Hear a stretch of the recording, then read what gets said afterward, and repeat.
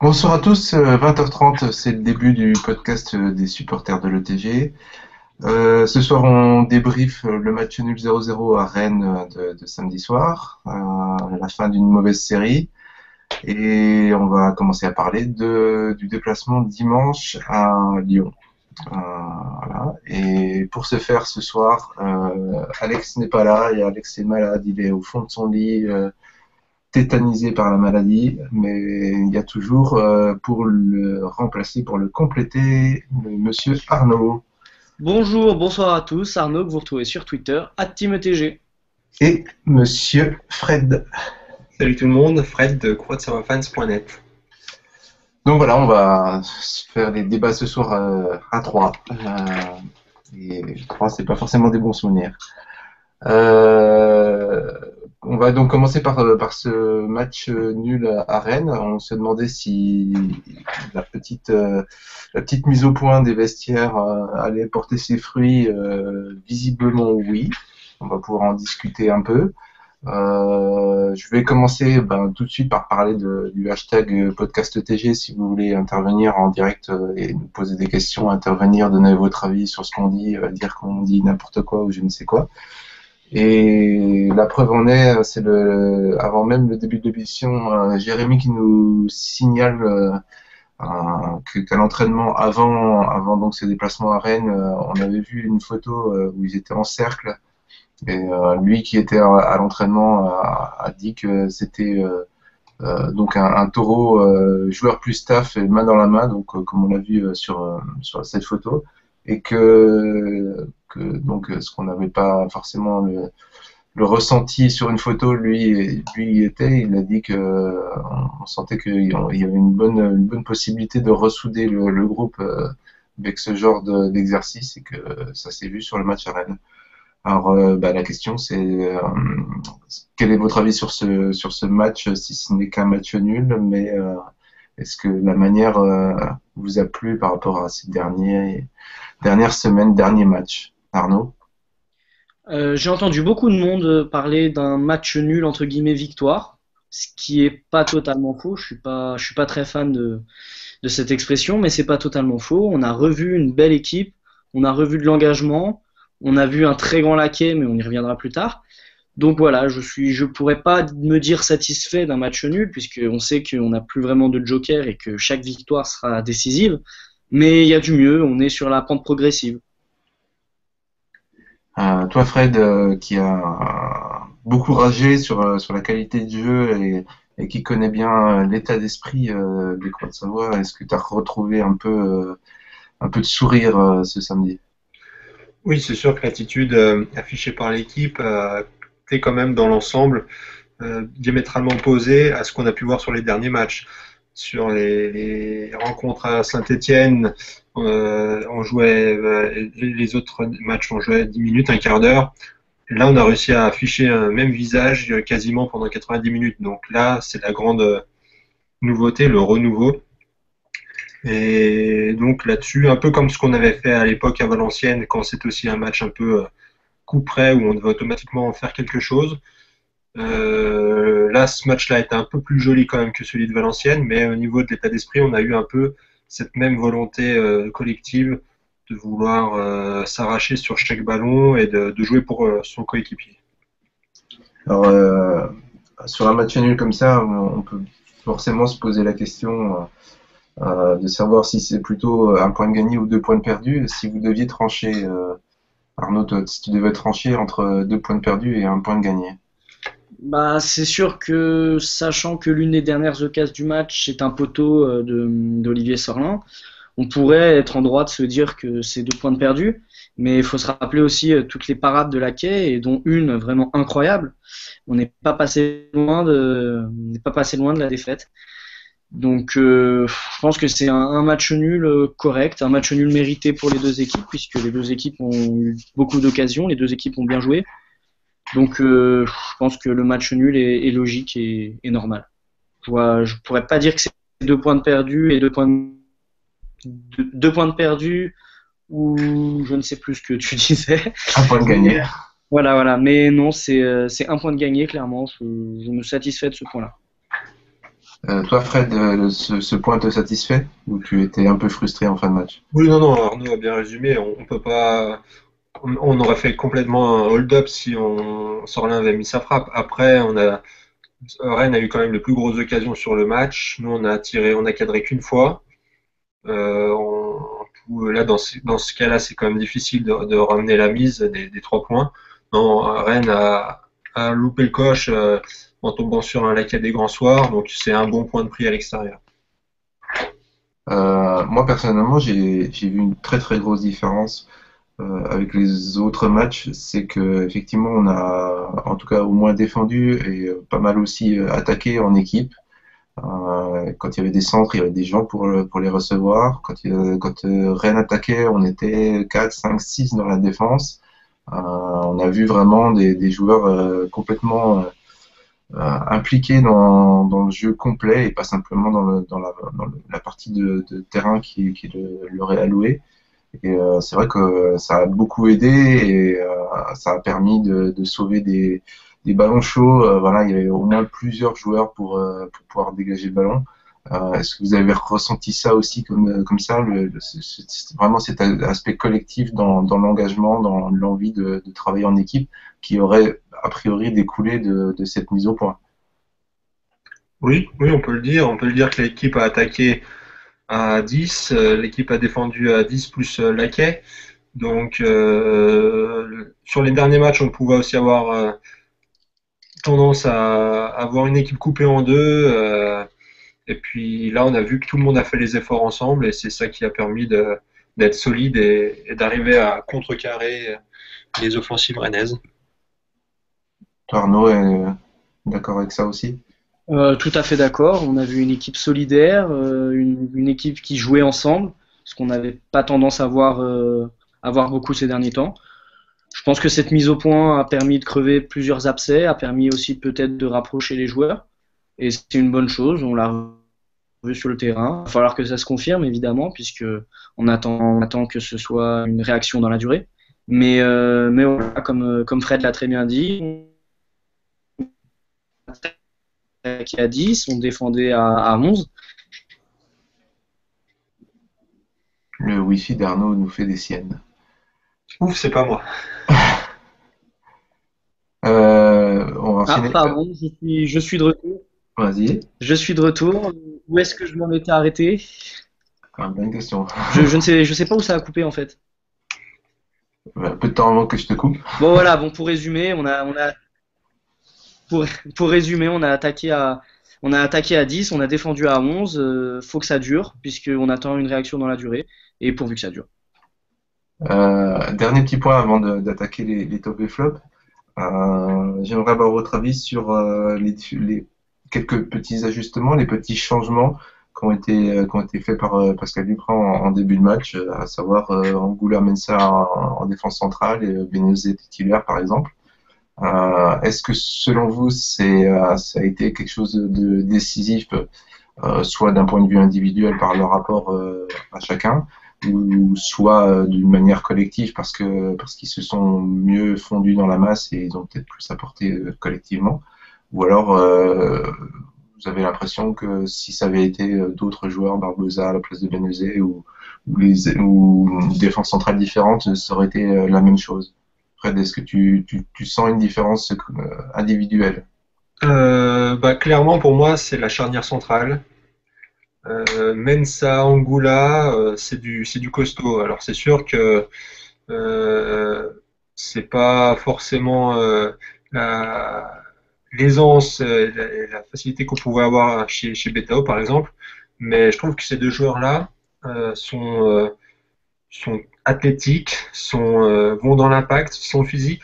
Il y en a un Mensa qui est très rapide dans, les replacements, qui est vif. On a un Angoula qui est euh, dans le domaine aérien euh, très très fort. Donc c'est des joueurs qui, même s'ils sont très costauds les deux, ils arrivent à être complémentaires. Et je trouve qu'ils ont fait un, très bon match les deux. Donc pour moi, c'est quelque chose qui est à installer sur la durée sauf si euh, le club euh, prévoit de recruter au mercato un défenseur central. Mais pour moi, c'est la paire, en tout cas en ce moment, qui pourrait donner le plus satisfaction. Pour Mensa, je persiste à dire que c'est certainement euh, des défenseurs centraux celui qui, qui est le plus fort, dans l'équipe celui qui a le plus gros potentiel. Il suffit juste que le joueur euh, fasse tous ses matchs en pensant qu'il a Ibrahimovic au marquage. S'il est concentré 90 minutes, comme il l'a été à Rennes, il peut devenir un atout euh, indéniable pour, pour l'équipe. Euh, toi Arnaud, d'un point de vue individuel, est-ce que tu as ressenti des différences ou 11 différents auraient eu la même attitude? Euh, c'est une question qui restera sans réponse puisque je pense pas qu'on puisse voir, euh, on ne peut pas savoir ce que les autres auront donné. Mais c'est vrai que j'ai été très satisfait du match de Angoula et de Bénézé pour ne citer que. Et voilà, Angoula, euh, Fred a très bien résumé la situation. Il a fait un très très gros match. Je me souviens surtout d'un tacle qui, je pense, si il aurait été fait par un Thiago Silva ou un Nicolas Nkoulou, on aurait tous crié au génie. C'est un superbe tacle. Et, et Bénézé, je l'ai trouvé très remuant, euh, très bien dans son match, avec quelques approximations, mais, mais j'ai trouvé, trouvé très intéressant. Donc euh, je ne sais pas si c'est dû au fait qu'il soit de nouveau titulaire ou s'ils ont profité du, du euh, de l'équipe entière, je ne sais pas. Mais, comme tu parlais d'eux précédemment, je pense que c'est deux joueurs qui ont réussi leur match. Ok, ben on va pouvoir passer à, vraiment à, l'étude euh, point par point, euh, individualité par individualité avec les top et flop, en, invitant euh, ceux qui nous suivent à donner leur top et flop sur Twitter avec le hashtag podcasttg. Peut-être commencer par Fred, quels sont tes tops et quels sont tes flops si tu arrives à en sortir? Alors, ben, un, voilà, un top pour Laquet, qui était vraiment qu'on a retrouvé, voilà, on a retrouvé le Bébert Laquet des, des Grands Soirs. Euh, après, il y a d'autres joueurs. Enfin, après, c'est il y a un ensemble. L'équipe a, répondu présent. Je relèverai quand même un très bon match de Sorlin qui a galopé 90 minutes, qui, jouait plutôt haut, qui a récupéré beaucoup beaucoup de ballons, un bon ratisseur. Euh, aussi, toujours euh, constant. Euh, bon, la charnière centrale. Après, globalement, tous les joueurs ont, répondu présent, mais surtout euh, Laquet pour moi qui a vraiment au top niveau. Et en flop, euh, il n'y a pas vraiment de joueurs pour moi qui sont passés à travers. Euh, toujours un peu, des fois, euh, cette voilà, on, part trop vite tête baissée, on fait des centres sans lever la tête, on rend trop vite le ballon à l'adversaire. Ça, c'est des, détails qu'il faudra corriger, corriger, corriger et travailler techniquement parce que c'est vrai qu'il y a beaucoup, beaucoup d'opportunités qu'on gâche pour des, questions techniques ou de précipitation voilà. Donc, euh, c'est pas un flop, mais c'est des remarques générales sur euh, des choses à améliorer. Euh, alors que Yannick Doug sur, Twitter nous dit une très bonne charnière Angoula-Mensa, mais par contre pour lui c'était que Rennes entre guillemets, et il attend de voir dimanche vraiment ce que ça va, ce que ça va donner. Arnaud, toi t'es top et flop? Euh, j'ai eu un petit souci de Wi-Fi durant le top et flop de, de Fred, j'ai donc pas entendu ses flops. Mais pour, euh, pour moi, mes tops, ce serait Angoula, puisque je vais pas, je vais pas répéter euh, Fred l'a très bien dit. Angoula, que j'ai trouvé très très sérieux et, dans son engagement et dans, tout, j'ai trouvé très sérieux et c'est vrai que c'était, voilà, il fait partie de mon top. Et pour mon flop, parce qu'il faut en trouver un, je mettrais euh, que j'ai pas trouvé très très euh, incisif au milieu de terrain. J'ai pas trouvé qu'il avait un grand impact euh, sur le milieu de terrain. Peut-être qu'il a été aussi expulsé par le éclipsé pardon par le très beau match de, de Sorla à ses côtés, mais je l'ai pas trouvé euh, suffisamment présent. Ok, bah moi je vais pas faire, je vais faire à la fois pas très nouveau et, à la fois nouveau quand même. Laquet Sorlin, oui, forcément. Euh, moi, je rajouterais un, petit, un petit bon point pour euh, Bénézé qui, que que, j'aime beaucoup et que, que je critique euh, à la fois régulièrement parce qu'il a tendance à, vouloir dribbler, dribbler et, et, se retrouve très souvent à foncer dans son défenseur et à, et ne pas passer. Et chose qu'il a corrigé pendant ce match-là, j'ai trouvé, où il a, il a su s'arrêter avant de, avant de perdre le ballon pour la donner et, créer quelque chose, ou au moins ne pas la perdre. Et là, euh, là j'ai trouvé ça euh, très positif de sa part. Euh, voilà, ça, promet, ça promet des, choses bien parce qu'il progresse. Je petit, un petit bémol sur Berigo parce que c'est un avant-centre. On attend de lui que quand il a un ballon, il soit décisif. Et en première mi-temps, il a un ballon, un, très bon ballon qui va essayer de prendre du droit d'un pointu extérieur alors qu'elle est sur son gauche et qui va la mettre complètement au-dessus. il y avait beaucoup mieux à faire à l'image de à l'image du, du, ballon de Sorlin qui a mis à plat du pied euh, en essayant de viser le poteau. Euh, et voilà, c'est ce qu'il aurait dû faire euh, précisément et il y avait de fortes chances que ça passe. Euh, vu, le, vu le contexte de cette occasion-là. Et voilà, pour ce genre d'occasion, il devrait être décisif. Euh, si, mais c'est genre de ballon, s'il arrive à le mettre, il va peut-être se relancer dans sa, dans sa lancée du début de saison. Euh, Jérémy sur Twitter nous, dit qu'il a remarqué chez Angoula, on en a parlé euh, justement, qu'il monte tout de suite sur les attaquants. Euh, il est bon au pressing. Alors moi j'avais dit ça de Cambon, mais effectivement c'est c'est un un aspect, c'est le, les, les, deux différents la différence entre les, entre Cambon, Angoula et d'un côté et euh, Mangou, Mensa, qui ont tendance peut-être plus à rester sur leur ligne, à attendre attendre que le ballon arrive, que l'attaquant arrive. Euh, Yannick Doc nous dit que pour lui, euh, les tops de, ce match, c'est les anciens. Alors effectivement, il a quai sur l'un. Euh, Barbosa n'était pas là. Donc euh, effectivement, effectivement ça, peut jouer. Peut-être un mot concernant les, différentes entrées. Est-ce que vous avez trouvé que ça a apporté quelque chose? Barbosa, Sikoulou et Cambon Ils ont apporté euh, voilà, leur fraîcheur. Cambon a fait une entrée euh, correcte. Après, euh, Barbosa, on n'a pas forcément beaucoup vu. Et puis bon, bah, il a joué à 3 minutes, donc on peut, peut rien dire là-dessus. Mais bon, il n'y a pas eu de. Ils n'ont pas plombé l'équipe, ils n'ont pas non plus insufflé quelque chose vraiment de, nouveau. Donc euh, voilà, une entrée euh, correcte, sans plus pour moi. On, notera aussi le, côté positif, puisqu'on a dit aussi euh, que l'équipe a perdu 17 points après avoir mené. sur ce genre de statistiques, on se dit que 15 0-0 comme ça à l'extérieur, on, allait tout droit vers, vers un but traîné dans les arrêts de jeu et ils ont au moins tenu le, score, ce qui est, déjà déjà pas mal, en tout cas après une série aussi négative, euh, c'était déjà pas mal. Euh, ben on va enchaîner sur, euh, le déplacement à Lyon, qui, va être tendu, parce que même si on, a toujours en tête le mauvais début de saison de Lyon, si j'ai bien suivi, il doit être dans les toutes meilleures équipes de ces dernières dernière semaine. Euh, ils ont perdu une fois, je crois, en 10 matchs ou quelque chose ou en 16 matchs même.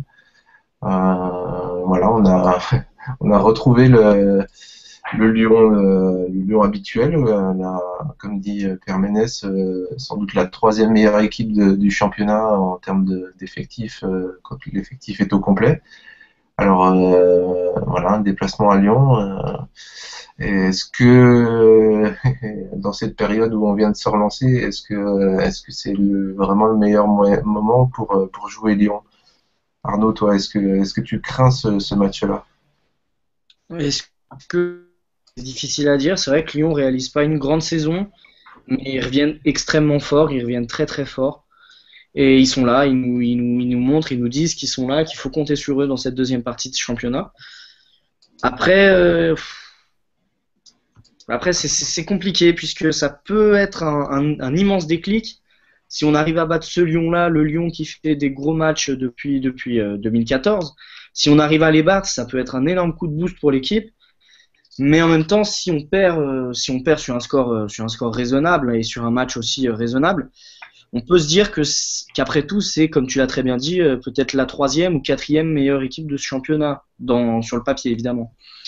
Donc donc voilà, c'est difficile à dire. je pense et j'espère que le TG pourra compter sur son public, parce que c'est un match un dimanche à 14h. Je pense que c'est, moi je suis pas très fan, mais c'est vrai que c'est le meilleur horaire pour avoir du monde au stade, clairement, je pense. Donc euh, voilà, j'espère qu'on sera très nombreux là-bas. Et que les Croix vont continuer sur leur lancée et puis pourquoi pas renverser, renverser l'Olympique lyonnais qui, qui on, pourrait le penser, se verrait trop beau dans ce match-là. C'est peut-être c'est peut-être là notre chance aussi. C'est qu'ils s'attendent à affronter une équipe affaiblie, fébrile, et qu'ils se voient trop beaux et qu'on les cueille à froid. C'est la meilleure chance et ce qui peut nous arriver de mieux dans ce match-là. Alors, euh, pour précision, avant de passer la, parole à Fred, euh, effectivement, euh, sur les dix dernières journées, Lyon a marqué 19 points, une seule défaite, 5, victoires et 4 nuls. Ça, c'est un petit côté, petit côté positif, c'est qu'ils ne gagnent pas forcément systématiquement. mis à part Paris, il n'y a que Lorient, Monaco et Saint-Etienne qui ont fait mieux d'un point. Pendant que nous, on a marqué 9 de points. Alors, Fred, est-ce que est-ce que euh, on va tomber sur un grand lion euh, très compliqué à jouer?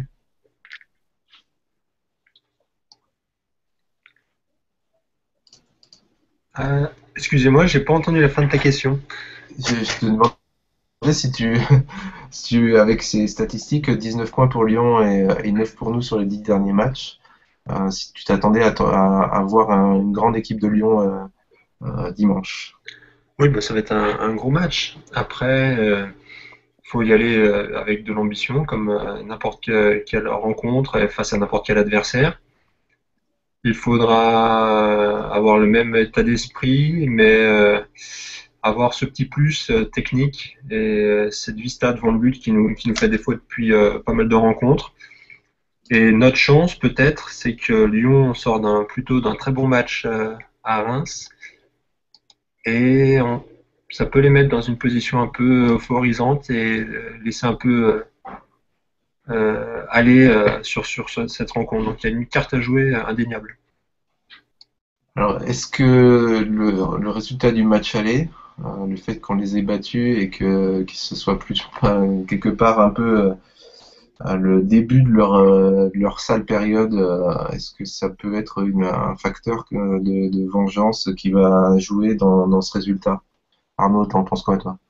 Euh, Je pense que clairement non. Euh, ni du côté de Savoyard ni du côté lyonnais euh, porte une importance à ce match-là. Je pense qu'ils ont très vite tourné la page, qu'ils sont passés à autre chose. Il y a eu énormément de matchs entre les deux. Et je pense pas que le match aller et cette victoire de buts à 1 et un réelle importance sur le match de dimanche. Alors, euh, je ne sais pas si vous avez suivi le Canal Football Club euh, dimanche. Euh, ils ont montré tout simplement que, que Lyon avait tendance à jouer d'une certaine manière en, changeant très, très facilement et très, très aisément de, de, côté, en passant par Gonalon avec leur milieu à 4 en losange. Euh, je pense, pense pas que, Pascal Duprat ait besoin de, du Canal Football Club pour, pour faire cette étude euh, tactique. Mais est-ce que justement, maintenant que qu'on le sait, est-ce que pas, est-ce que Pascal Duprat ne va pas justement jouer là-dessus en essayant de, placer, euh, ben, je ne sais pas, soit, soit un numéro 10 qui, va se dévouer à, empêcher Gonalon d'orienter le jeu, ou alors tout simplement un, 6 qui, qui sera voué à, à cette tâche-là Est-ce que ce ne sera pas un, aspect, euh, un match qui se gagnera de, manière tactique? Fred, euh, est-ce que tu vois, tu, vois un match tactique? Oui, c'est un match qui pourrait ressembler à celui du, PSG, avec euh, un dispositif à trois milieux cognitifs. Enfin, on n'aura peut-être pas de Thierry. je regarde. il me semble qui reviennent de blessure sur cette rencontre. Euh, il était euh, prévu pour être indisponible deux matchs, donc euh, voilà, c'est toujours l'incertitude du, du, match suivant. Après, dans ce rôle-là, bon, avec qui, pourrait accompagner Koné et Sorlin au milieu dans ce, rôle, c'est difficile à, dire. mais voilà, si on veut priver Lyon, pas de ballon, mais de les mettre en difficulté dans leur, dans leur jeu, il faudra automatiquement avoir trois milieux de terrain, euh, type euh, voilà, avec euh, un complément pour Thierry qui, harcèle un peu les, porteurs de balles pour aller empêcher, les Lyonnais de développer leur jeu. Donc un 4-3-3 pourrait, être intéressant, je pense, pour ce match. Alors, est-ce que en cas d'absence de d'Eric Ribi, ce serait ce serait pas la chance de Bocara, Arnaud? Ça, ça peut être la chance de Bocara. C'est vrai qu'il a joué un match pour le moment en Coupe de France. Malheureusement, euh, le match n'était pas retransmis, donc j'ai pas pu avoir euh, me faire une idée sur ce joueur-là. Mais d'après ce que nous dit Jérémy et d'après ce qu'on peut lire un peu partout, il a l'air très impliqué pour le club, très beaucoup d'engouement aux, entraînements. Donc pourquoi pas Pourquoi pas lui laisser sa chance Sinon, pour revenir à ce que tu parlais précédemment du milieu de terrain de Lyon, je pense que ça va être très compliqué puisque c'est un milieu de terrain qui a une forte capacité d'adaptation. On le sait. Ils ont trois joueurs qui pour moi sont dans le top, euh, niveau France. Je pense que je m'avance peut-être un petit peu, mais c'est pour moi, à mes yeux, le meilleur milieu de terrain français, avec Maxime Gonalon, euh, Clément Grenier et Johan Gourcuff. S'ils ont une capacité d'adaptation phénoménale, ils peuvent permuter les uns les autres, ce qui fait que c'est un vrai casse-tête pour les, pour les joueurs et pour les entraîneurs aussi. Donc, euh, de, là à faire jouer la tactique comme on a pu le faire face au Paris Saint-Germain, j'ai peur qu'on se casse les dents ou que justement on soit perdu dans cette tactique-là. Puisque Lyon a un milieu de terrain, euh, un milieu de terrain qui, lorsqu'il est à sa pleine puissance et quand il n'y a pas de blessés ou de suspension, etc., etc., et, tout simplement, euh, moi, je, moi je, je, le trouve réellement impressionnant. Alors après, est-ce qu'on euh, à savoir entre deux ou trois euh, milieux défensifs. Euh, est-ce qu'on garde devant le, un peu le, le, même, le même schéma avec Benezé suite à sa bonne performance ou on en revient à, Barbosa ou à un autre positionnement? Pour moi, le seul qui pourrait perdre sa place dans ce match-là, c'est Moudou Sougou. Elle est suspendue de toute façon, donc il jouera pas. Eh ben comme ça c'est comme ça c'est fait, voilà. Non mais juste parce que je le trouve euh, moins décisif depuis quelques matchs, donc je pense que s'il y en a un qui devait sortir, ce serait lui. Étant suspendu, c'est vrai que j'avais oublié qu'il était suspendu, ça règle la question. Donc euh, voilà, mais Bénézé, je pense qu'il mériterait de reprendre sa place. Après, ça dépendra de ce que de ce que Pascal Duprat euh, en a pensé et de aussi ce que lui a ressenti sur le terrain, s'il n'a pas eu des douleurs ou quoi que ce soit. Mais, euh, mais je pense qu'on pourrait repartir devant. Après, la vraie question, c'est de savoir si on, remet Berigo ou si on réessaye euh, Ruben, puisque maintenant les deux sont au même, au même niveau, les deux ne marquent pas. Donc, euh, donc voilà, c'est un choix à faire et un choix à prendre.